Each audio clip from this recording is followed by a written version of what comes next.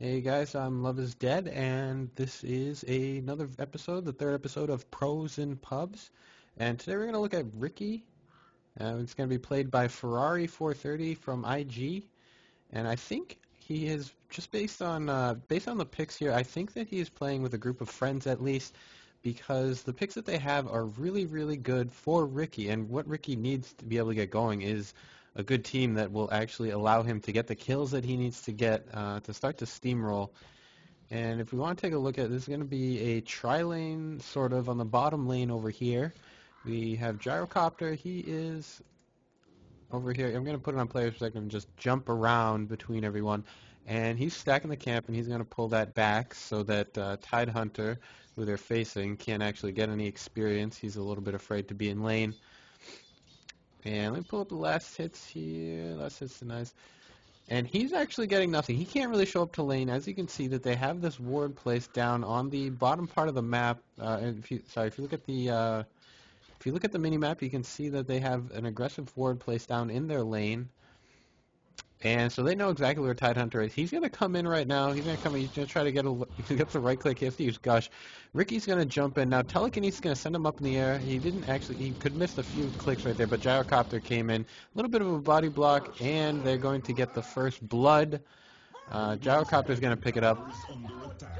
Probably Riki could have got that one if he was a little bit closer, um, but he got a couple stabs in. Really, Gyrocopter, he's quite excellent uh, early part of the game. He can, as you can see, he deals a lot of damage if his flak cannon hits only one person.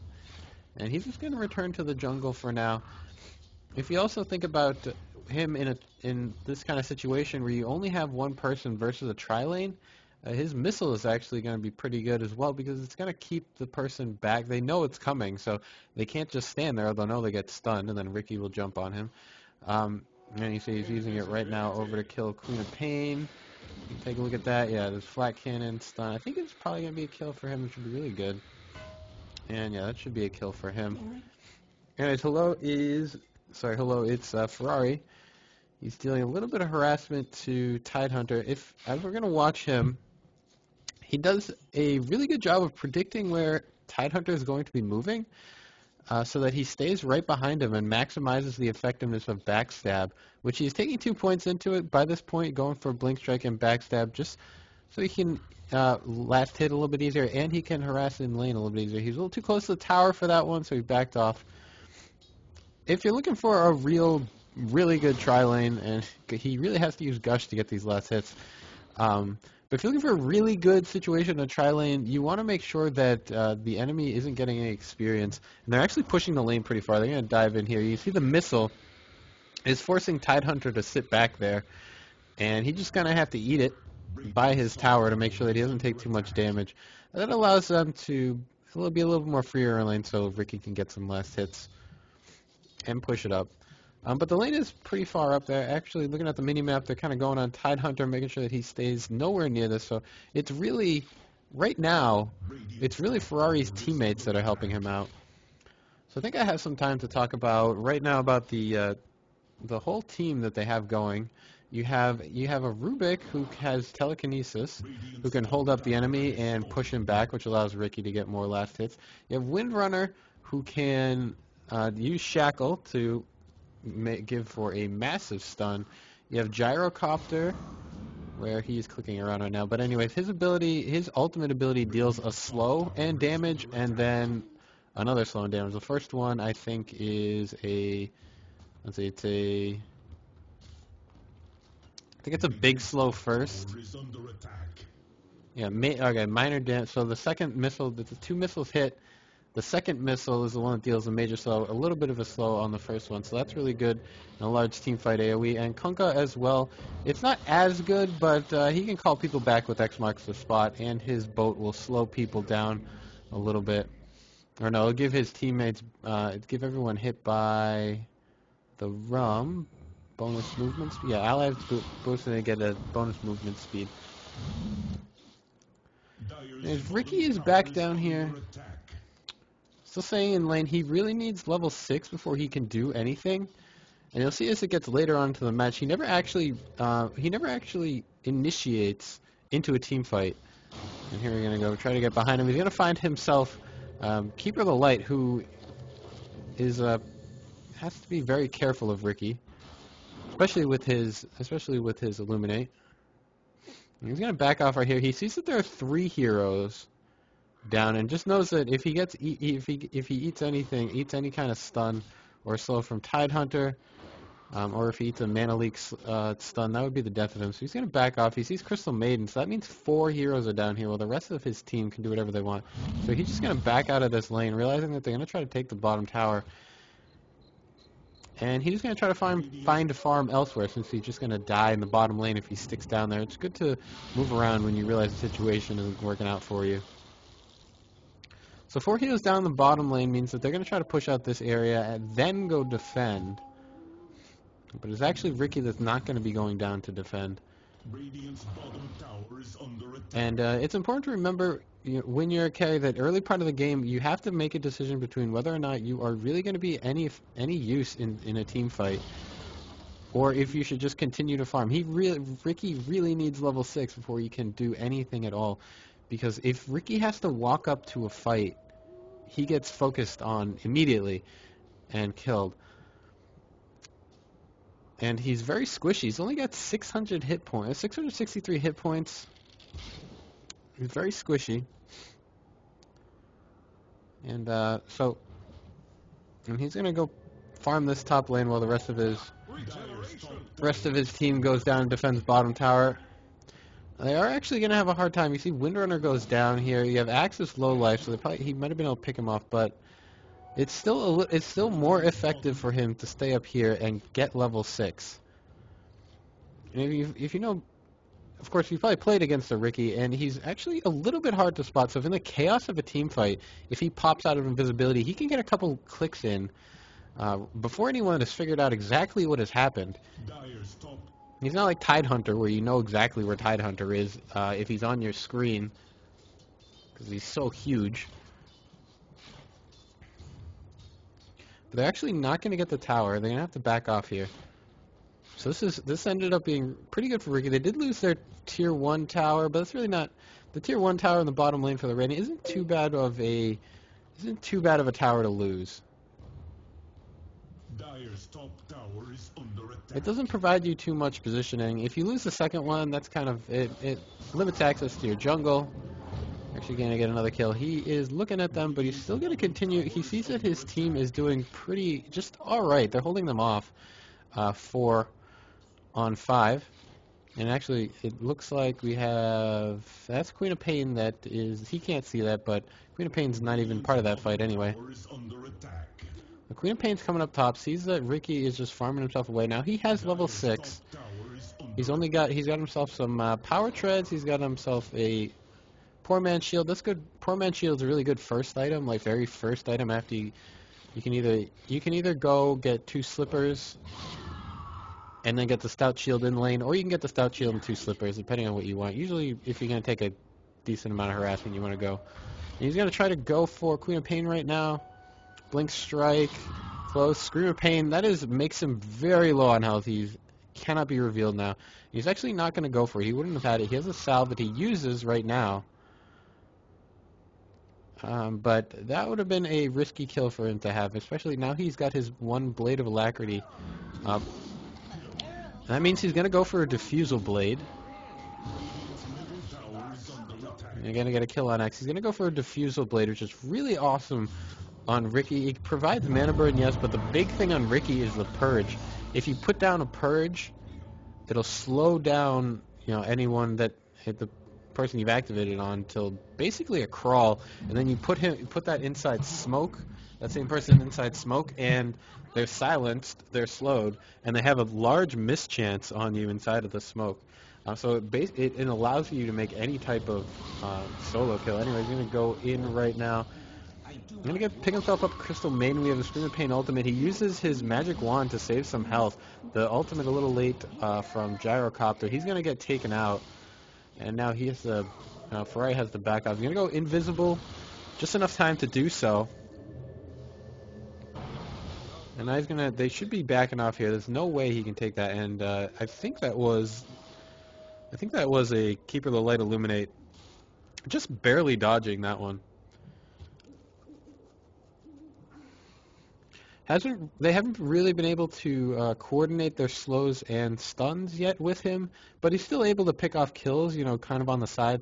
Riki, you need to be careful with your positioning with him. As you can see, he, if you didn't notice it before, if you watch again, as he comes up, uh, he he needs to be he, he he's very positioning dependent because he can't be caught. If you catch him, you can kill him, but if you can't catch him, then you can't kill him. And if he just sits in the back here and you know team, the team goes in one at a time, he'll be able to he'll be able to punish them for that uh, pretty heavily. As you can see, he's scouting out the top uh, he's scouting out mid lane. He knows two heroes are there. He sees Tidehunter. Kunkka's coming up here. He's hiding in the trees a little bit. They're waiting for a good initiate. Here we go. Kunkka's going to initiate. The boat misses. Uh, actually, no, it hits one person. I didn't see who it is. But they have, here's the ultimate coming out from Gyrocopter. That's the slow that really helps them out. And the chaos that um, sort of distracts the enemy. Now, we have Crystal Maiden just coming here for kind of no reason. And now Queen of Pain following up behind her. Jumping into four heals, really just not a good idea. But uh, really wonderful for Riki. So he's got another thousand gold. That's another that's another blade of alacrity, and and that gives him quite close to his diffusal blade, uh, which he can use to start getting solo kills on his own. Really, as you can see, he's not except for that that uh, quabble with Queen of Pain up in the top lane. He hasn't gone for any type of solo kills because he knows it's still very dangerous for him to be by himself and revealed. Riki, of course, he's, he has a slow, but he has no stun, and Blink Strike is only can only kind of be used as an escape. You can use it on your teammates and your own creeps, um, but those have to be near you in order to do that. So he doesn't have a reliable escape like uh, Anti-Mage or Queen of Pain or Faceless Void, something like that, where you can just, or Morphling as well. But I'm really not sure that there's a better first item for Riki if you're getting enough farm. It looks like he's scouting out with his team. He knows they're a little bit low, and he's not actually going to TP in here because he knows that that would reveal exactly where he is, and that's what I was talking about. You don't want to do that with Riki. He's going to come in here, blinks himself in, and silences them so they can't get anything. Gyrocopter coming into his ultimate yet again, slowing them down enough for Riki to get the kill. You can see he's standing right in front of the heroes that he needs to kill. He's not He's not trying to uh, hit them, start hitting them from behind. He wants them to walk across him so that he can just get right clicks as uh, as they walk by. Which is really important for Riki because the more right clicks you get, the obviously the more damage you deal. Um, and body blocking is pretty heavily punished by Riki.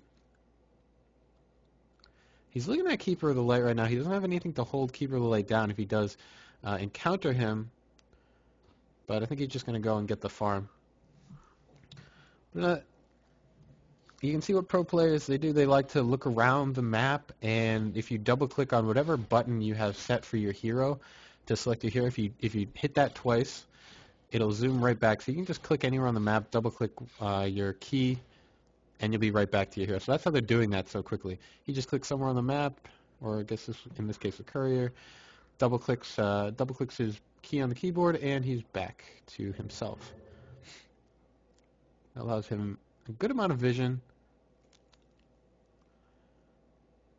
Right now he's deciding he I think he has finished up his diffusal blade or was that only yes, he's finished up the diffusal blade. He's got eight charges on that thing. That's eight kills he can make with it.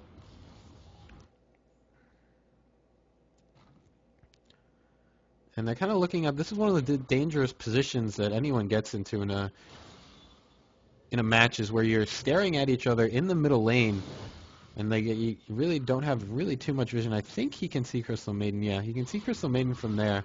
He's gonna go up now, uh, but it's definitely a dangerous spot to be in. He knows that Queen of Pain went up north. I think he saw her blink that way, and uh, he's gonna find her up here. She's low on life right now. Purge, we have the smoke, and that is a dead Queen of Pain. Can't do anything, can't blink away because she's silenced by the smoke. Can't nuke him because she's silenced by the smoke. Right clicks aren't going to work. And she can't get out of the smoke because uh, she's been purged. So that is the power of the diffusal blade on, on Riki. And that's why it's almost a, it's got to be, there's really just no better item on him uh, for a first item if you got the amount of farm that you need. Dire's bottom tower is under attack. He's looking around for Gyrocopter, looking for Axe. He has this is uh, the one decent thing about the missile too is that uh, it'll track the hero, so you know where they've gone. He sees that he's definitely gone by the tower, so he'll be revealed by the tower if he goes in. Sees that he's going to take a little bit of damage. And he's staying right out of tower range, and he's like, oh, ho, you're going to run right by me. And then Gyro's right there to wait him. He uses Purge yet again. So that thing's on a 10-second cooldown. And Purge just ensures that nothing can happen, that uh, his heroes can do. Here's what he's targeting to do nothing. On his team, I think, uh, no, let's, let's wait until see if he can make a kill on Miracle over here. Um, the Keeper Lay's going to go right in, Purge right up, and silence the I think it was a magic wand charge that brought his health back up. He's low on health. Needs to back off a little bit. And they got a nice boat that's actually going to hit. The shackle is not going to last, but telekinesis is up there to hold her in place. And that is that's how you uh, that's how you play with a Riki. He really does require some sort of stun or slow in order to be able to deal damage, because otherwise you can just get about one right click and that's it. They do have a ward down, so they can see Riki here. They do have a ward in the mid lane. I'm going to take a quick look at what we got. So we have uh, not a whole lot on Rubik right now. We have, uh, it looks like a headdress is finished up on Windrunner. Gyrocopter's got a Drum of Endurance phase boots going for extra movement speed. Let's go back in here. And that's Riki going to go down. He's probably get, he got a little aggressive there, a little bit out of position. Um, and so is Kunkka. He's got battle. He's got battle hunger. You got Blink Dagger now up on Axe. They can figure that one out. Anchor Smash is going to finish him off. And Kunkka and Tidehunter are going to talk to one another. Anyways, yeah, he's uh, tanking up a little bit with the bracers. So Drum of Endurance, that's going to help Riki out because uh, more movement speed means more attacks that Riki can do if he can get closer. And Kunkka, has, he's looking at Axe right now. Yeah, he's got phase boots as well, and he's got a gauntlet of strength. So not too many big items up on anyone else. You know, the the drum of endurance is really good. We got a shackle up here. Riki is still dead. All right, now he's back alive, so he's going to come back into this fight. He's got four charges left on his diffusal blade.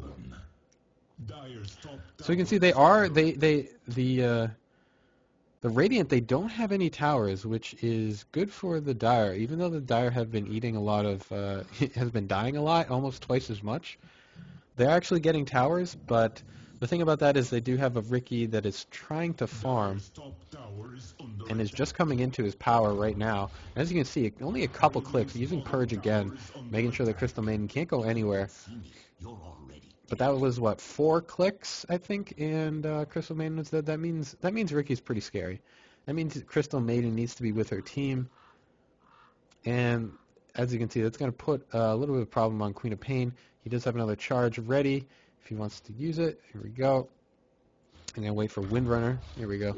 He actually uses the Purge, but the Shackle misses. He's going to get the final right click, but his teammates were there.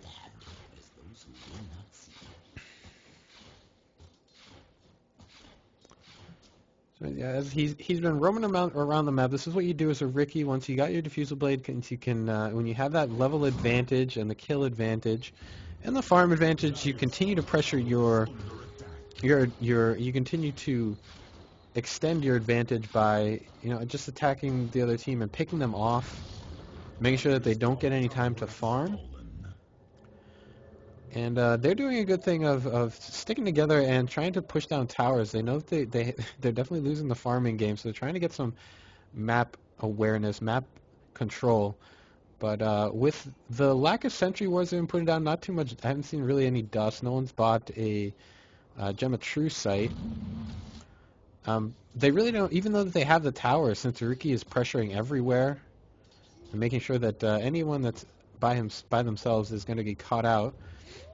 Um, he's actually, they actually don't have as much map control as uh, as it might appear based on the tower differences. And even with, let's see, the XP graph is at 75, it's, and then the gold graph is actually even. So actually staying good with gold with all the towers that they've been getting and the uh, kills, but uh, everything is sort of stacked up here on Riki. We're going to look at, uh, at this point in the game, going to look at net worth because Riki has not been getting kills, has not been farming uh, creeps at least. He's been farming heroes because they keep uh, getting himself picked off. But now you can see they're all together except for, well, except for Tidehunter who's down in the bottom lane for some reason as I'm looking at the minimap. map. I think he's just gonna stick in this top lane. He got gyrocopters. He doesn't have anything new. Kunkka doesn't have anything new. Rubik doesn't have anything new. Windrunner. Nothing new for her either. So now that uh, he's not looking for he's now he's looking for farm because that's the only thing he can get. They know that they're all grouped up, and uh, he knows that they they have to. They don't really want to. Uh, he needs to engage carefully when he does that. So they're gonna pop off the ultimate here from Gyrocopter. It's actually just gonna. He's gonna use Purge to get Miracle. We have a Scream of Pain ult that whiffs on him, and now he's gonna jump himself in. They're gonna try to get Shackle. That's gonna be enough, I think. There it is. Hello gets another kill. That's Ferrari. He gets a triple kill. That was a good team fight going their way. He has picked up a Gem of Truesight. I'm actually not sure where he picked that up. If he got that uh, from the enemy team, I think. I don't think he bought that. Um, it's it's decent to have on him.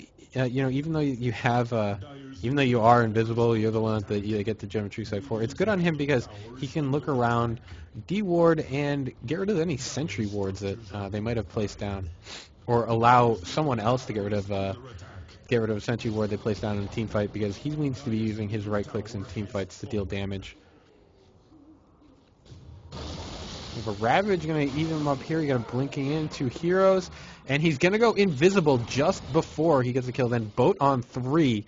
BKB popped off just so he doesn't, uh, someone doesn't place down a ward and try to get him. And he's going to back off. He's going to find himself a ward and heal up. We have the Gyrocopter ultimate up yet again. And we have a stun thing from Telekinesis. He's going to jump himself in. He wants Basilius, but Queen of Pain is in here, gets the kill. And uh, Miracle gets shackled, but he wasn't able. He he, I think he went off Crystal Maiden in order to maximize that shackle that was was gotten on to uh, keep it the light, but a little bit too aggressive. And uh, Queen of Pain showed. I mean, he would have had it uh, if Queen of Pain hadn't showed up to the fight, but she did, and she got the kill for it. But he's only died two times, and he's 14 kills by now. But he's doing pretty well. And Queen of Pain really seems to be the only one he's worried about. Axe really, it hasn't been too much of a problem for him. Queen of Pain can get pretty big, but still going to be difficult for her to deal with Riki. Any squishy here is going to be. He's going to find, uh, find himself Miracle. He's going to use his final purge, gets the kill there. There's a mechanism, and I think a wand charge that went off in order to try to save Keeper the Light, but uh, with the amount of DPS that Riki can dish out right now, Matt, and using backstab to using backstab to deal even more damage. Actually, sorry, I didn't talk about the skill build, but I remember what he did. He he, he finished off backstab first, then went for the blink strike, uh, just getting uh, more damage and reducing the cooldown on that spell down to five seconds, and then he leveled up Smokescreen. He got one point in it uh, a little bit early on so that he could have the utility. That was right around level six when it was time for him to start using the using the spell, and obviously picking up the ultimate whenever whenever it is ready for you, ready to be skilled. Um, but the, the reasoning behind that was because he wanted to have the blink strike to give him a little bit more effectiveness in lane uh, he didn't need to use he didn't need to use any he didn't need to use smokescreen earlier on in the game because he had so much stun potential uh, with his team, and that's why he didn't he didn't need to get that early on. I'm gonna have a big team fight right now. We have five heroes. They're both gonna come in and he's to start dealing damage in the middle of the fight. Smoke was getting out on two. They're to pick off two heroes right there. He actually picks up, uh, right before that fight, the upgrade to his Diffusal Blade, and he's already used one of those charges. Going to get himself Crystal Maiden, who tried to hide away in the woods.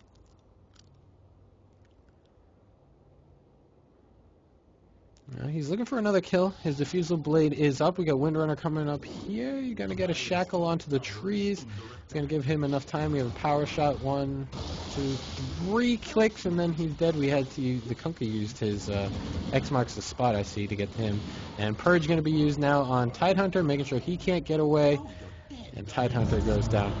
So the... Uh, team fights really going their way at this point in the game. There's not a whole lot that the enemy team can do at this point. Uh, 25 minutes in, we have Axe here. He's got a Blade Mail, which is decent because he can take a lot of damage and dish it out back. Got Keeper of the Light, who's got a Mechanism. Tidehunter, who is looking at Rubik right now. Tidehunter's got himself his Blink Dagger, his Arcane Boots. Queen of Pain doesn't even have doesn't have a BKB. Really doesn't have anything other than Treads. We have Crystal Maiden here with nothing much either. He does have Dust. Still haven't really seen that used, though. So looking at Kunkka, Kunkka's got a Drum of Endurance, and I think we already talked about uh, Gyrocopter having one, so well, miscommunication in pubs, two, two Drum of Endurance. The, uh, the abilities, they don't stack, the, the, the aura doesn't stack. Riki's just going to get another kill right now bunch of other kills. And Gyrocopter picked up a Black King bar that's going to stop anything, a lot of magic damage that can come out from their team, actually. And uh, we have Arcane Boots up on Rubik, and not much else. But anyways, the Black King bar, two Black King bars is good for against this team because you have the Illuminate damage, Queen of Pain damage, you have Tidehunter and Crystal Maiden. All of those are magic damage heavy. Uh, except for Axe is really the only one that, that isn't. Um, but uh, a really good item against the team setup that they have because when he pops out, they still can't. They have to right-click him down.